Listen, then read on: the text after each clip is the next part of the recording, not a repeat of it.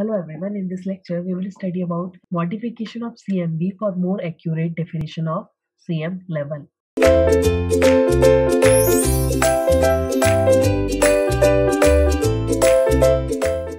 Now we have modified, some modification is done in this figure.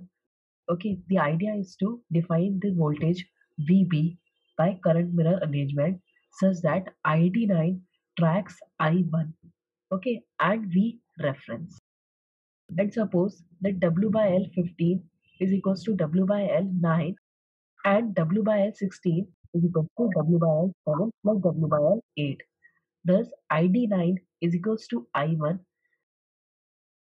only if V out CM this V out CM is equals to V reference. This voltage V reference. The circuit produces an output common mode level equal to a reference but it requires no resistor in sensing Vout CM. The overall design simplified in this particular circuit. Okay, in practice, since this VDS 5 is not equal to VDS 5 is not equal to this uh, VDS 9 okay channel length modification result in a finite error okay and in this figure a more modification is done to basically suppress this error.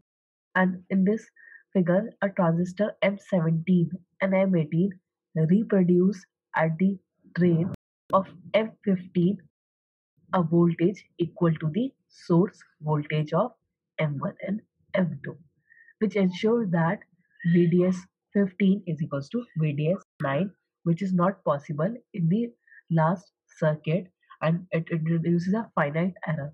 And to remove this error we use this M17 and M18 which reproduces the drain of M15 and a voltage equal to the source voltage of M1 and M2 which ensures that VDS 15 is equals to VDS 15 is equals to VDS 9 okay this is all in this lecture.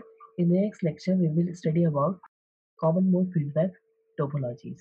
Thank you.